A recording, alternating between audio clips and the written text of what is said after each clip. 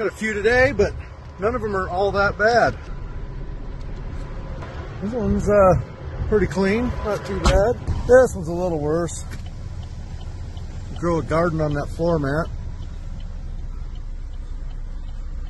That one needs a dump truck.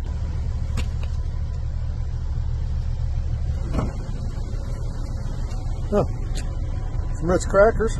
We got this van, a broken uh, driver's window. Not too bad for a van, they're usually kind of nasty. Lots of storage. Ooh, look.